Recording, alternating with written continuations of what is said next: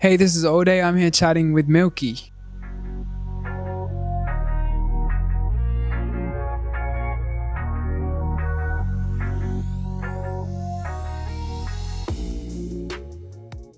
I was just happy to go back to rap and having fun. So just like I guess just following my instinct as much as possible. Just just like listening to the songs and being like, what does it need? Or like playing with the different sounds until I felt good. Just try honestly try not to think too much. Just like making making something I wanted to hear. I guess like I was just realizing that I was those themes were coming up in the in the songs. About halfway through I was like, okay, what are we talking about with this album? That's kind of what I landed on. So then I the rest of it I kind of pushed in that direction a bit. I think when I first started, I was just like finding beats to rap on, and that was that was that. And then I kind of got like super. I started overthinking and like got perfectionist. I've been through a million different phases, and so by the time I'm back at this album, I feel like I'm trying to learn all my lessons from my different phases, and like hopefully make something that takes all of that good stuff and deletes like a lot of the bad stuff, and then hopefully makes a good album. And I think I did.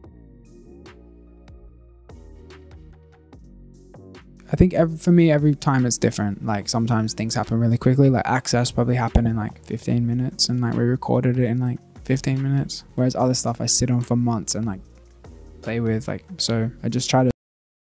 Um, but I should probably be quicker. I actually want to be quicker at making music. The song Access is just a song, and I was making it, and kind of.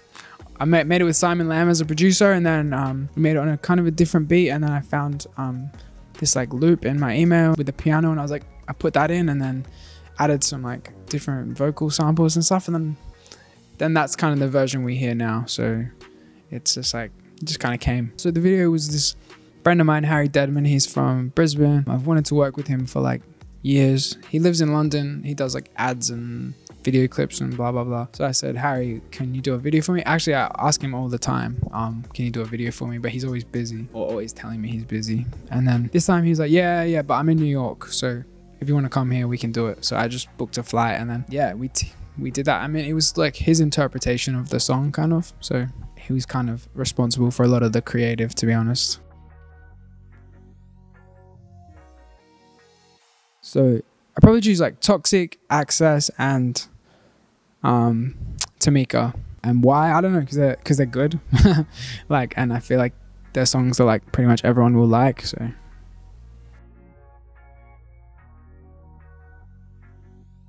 My favorite line, uh, I don't know. I mean, I like a lot of the lines. They're kind of funny. Um, scoop you up like an eagle claw. I don't know. I don't know why, but the song's got lots of those lines that I'm like, like I wanted to say that for a while. Like said it never rains on memory lane. Like I had that in my head for ages. So I was like glad to put that in a in a song.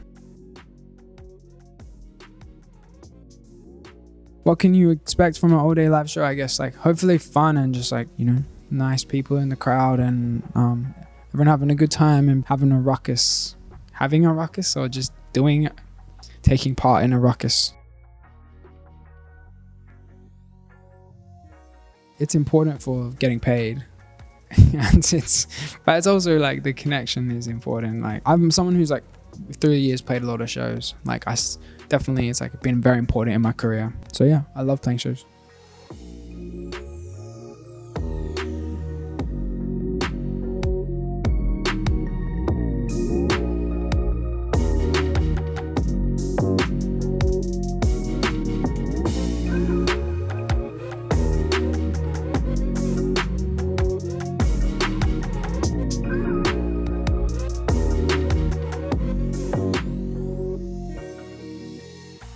probably Kanye, Frank Ocean, Drake.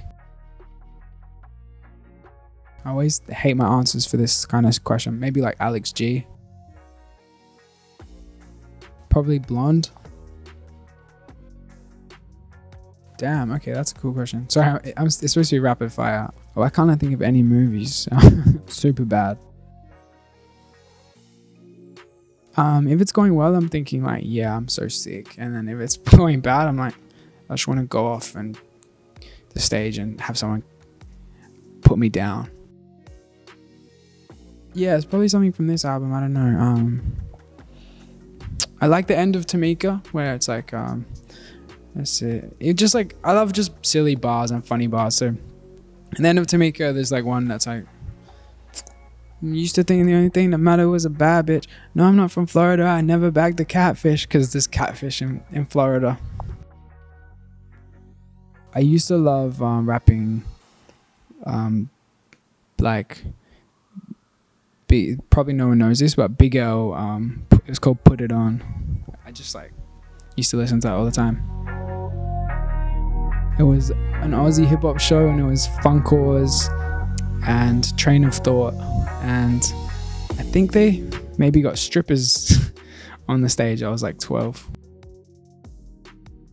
This is probably like not cool, but I really liked um, Paul Simon at the Hollywood Bowl.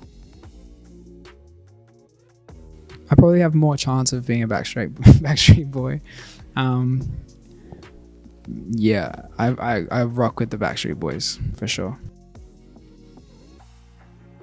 Like I don't know, Madison Square Garden. Uh, you know what? I've never done karaoke. I mean, I I don't know. It feels embarrassing or something. In the last twenty years, it's probably Drake. Um, I don't know, the Beatles. Honestly, anyone. I've, I'm begging people to cover my music because, like, especially the ones where I'm singing, like, because they're like, I think they're good songs, but they'd sound good if someone could sing them better. So, please. I don't think I can offer him anything because he knows more than I do. Probably. Oh, wow. I probably wouldn't listen to a song. I'd probably like just panic. um, I don't know. I just like it. I think I was listening to rap music when I was like 10 or 11. I was like, yeah, this is this is me. I, I'm like I'm one of these guys.